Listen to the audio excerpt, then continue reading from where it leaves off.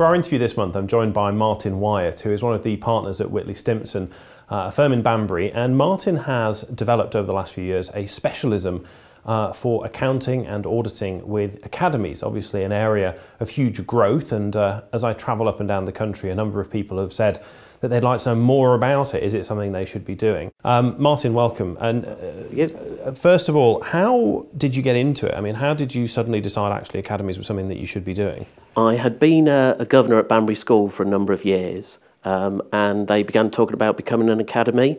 Uh, academy to me was Sunderland Football Academy or Oxford United Football Academy. Uh, so I asked the head what it was about. Um, she explained it to some degree.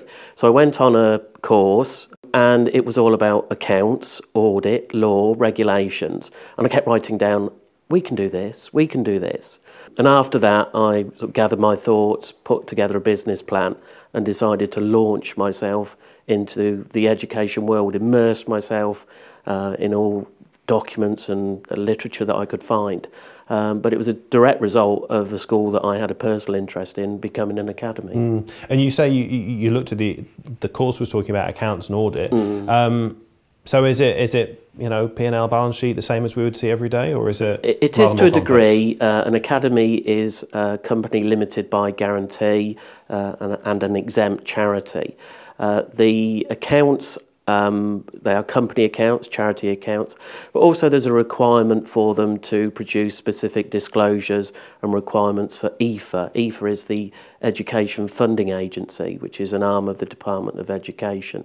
So they issue uh, a financial handbook every year that contains uh, the set format for uh, the accounts that uh, have to be produced. They call it Coketown Limited. Why Coketown, goodness only knows.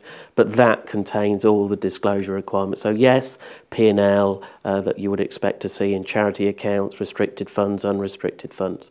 But more than that, there are specific disclosures as they are an academy. Okay, but if you were a charity expert and um, you know you, you got this this this Coketown booklet, could could uh, uh, your average firm watching this now could they have a go at academy accounts? They could certainly have a go at academy accounts if they learned it by rote. Uh, but in terms of actually understanding some of the disclosures and why those disclosures are in there, it is different to normal charity accounts. Okay, and then presumably because it's a charity um, and also because it's public uh, funding, we're looking at a very different set of audit thresholds, are we? Completely different audit thresholds. Uh, all academies have to be audited. Their annual income is called GAG, the General Annual Grant. You might have a small primary school with, say, 400,000 or 500,000 pounds annual income. Even though it's so low, they still have to be audited because it's public monies. So uh, the regulations are such uh, that all academies have to be audited. And so you, you were saying it's a, it's a company limited by guarantee, yes. so you have Companies Act requirements. Yes. Um, as viewers will know, the charity requirements can be really quite different to that. Yes. But then you've got this extra one, the, the you said EFA. EFA, EFA is then EFA the third regulations. set of requirements. Yes. Um, so presumably the, the, it's almost time for people to go and make a cup of tea and say, do you know, I'm not going to do it. I think to some degree, yes. If people haven't got the time, the commitment uh, to want to enter this new world that's emerging, then steer clear of it. If, however, you want to put business development time in and build a niche as we have done, then it, it is profitable, but it's also very rewarding in terms of giving a service back to a service sector. Mm. And, and I didn't say at the start, but I should mention, you told me off camera, that you have over 60, uh, 60 Over 60, 60 academies. Yeah, yes. that you're dealing and that's from... Correct. That's as far south as uh, Sussex, uh, Bournemouth, Poole, right up to Yorkshire, a com complete spread of multi-academy trusts. Multi-academy trusts are where there are a number of academies that have joined together uh, to form a single entity. We have standalone academies, uh, and we also have a number of special educational need uh, schools that we look after. Right, and then presumably within these disclosure documents, it would have different requirements for the, the type of school, or different requirements in terms of if you're a multi-academy trust, you have to consolidate the results into one. But effectively, whatever type of academy are you are, you, you fit within the um, the normal Coketown accounts. Okay, and then presumably, if you're auditing as well as doing the accounts you must have obviously to divide that with the staff that you have. Correct. But then if they're different accounts and you need somebody who's uh, a specialist in companies, charities, uh, government rules, and also on top of that, understanding the ins and outs, that's a very specialist audit person. It, it's a very specialist audit person. We now have distinct staff who are ring fence and who only do academy work. And that's also helpful in that uh, an academy's year end is the 31st of August. They have to have their, their accounts audited and completed and with the Department of Education by the 31st of December. So with Christmas, Yuletide and everything, you've got really until the 20th of December to get those accounts completed and audited. Wow. So um, as people are watching this, their children will have just gone back to school, their colleagues and their friends who are teachers will just have gone back to school for the start of the, the autumn term. By the end of that autumn term, you have to have done the accounts, done the audit, and filed it. Correct. Within that time frame. Correct. Yes. So these specialists, what, what do you do with them the rest of the year? Believe it or not, they are still fully involved in the academy sector within the academy sector, uh, they, there are a great need in terms of additional services. So uh, we offer assistance with preparing their budgets. We also have to go, out, go in and carry out um, internal audits. Uh, there's a requirement that uh, the accounting systems and controls of academies are checked either on a peer-to-peer review, i.e. another academy, or the external auditors can go in and do that audit work to produce the reports for the governors to use in their gov uh, governing body meetings. Right, and and do you get involved in that side of things, the governors the governors meetings? Yeah, abs absolutely. There's um, a very uh, close focus at the moment on governance. Um, the government sees uh, governors as having to have the right skills and expertise in order to manage uh, an academy, particularly the finance side, with new rules and regulations coming in.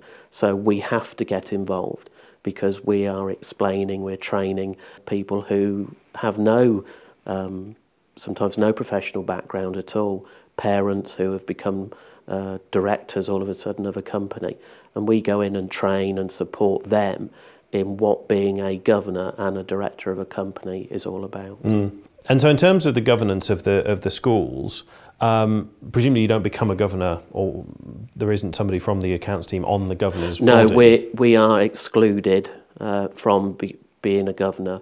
Um, if we can't be a governor and the auditor, sure, uh, it, it's uh, not allowed. Okay, but what what sorts of things are you involved in with the, that governing body? Then, how are you working with them? We uh, we do seminars. We do seminars uh, with firms of solicitors on uh, the aspects of of being a director.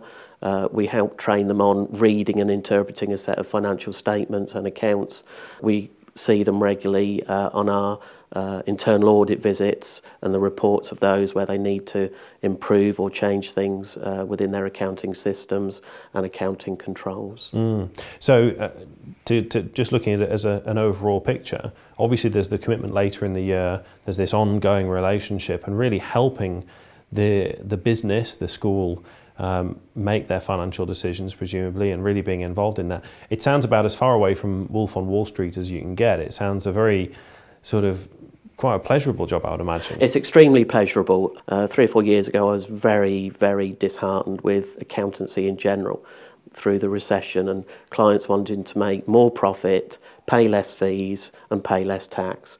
And I've just got really disheartened. So to come into this sector where you're able to really put something back uh, in terms of service. It's, it's not about making profit, it's not about saving tax, it's actually about using the funds that they have for the benefit of the children. And if you forget that, even I as an accountant, if I forget what, what education and an academy is about, which is children, then um, I'm failing them and I'm failing my clients. And so at 60 academies you were saying you've already got, I mean, yes. is that pretty much all you can take, or? or? Oh no, far from it. Uh, that was the reason I looked ahead. I was looking ahead two, you know, two, three years, which is why I took on uh, another partner, headhunted a partner.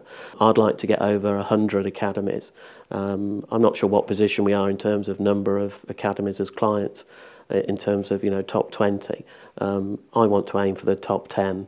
Uh, and we're building a team, uh, an expert team, to cope with uh, more academies and to offer what I consider to be a first class service and a, a service that's driven from the heart. And that's what I was going to say, really. So, what uh, you know, a lot of the very big firms will be saying, "Oh, yes, but you know, we have entire buildings set aside to this." Why? Why should I come to you? You come to me because of the commitment and the passion that I have, uh, and we have an expert in-house team as good as, if not better than, uh, some of the top firms. Okay, Martin Wyatt, thank you very much indeed. Thank you. Um, I've put on uh, the screen there Martin Wyatt's contact details. If you do want to get in touch with him, you'll find all the information you need on screen.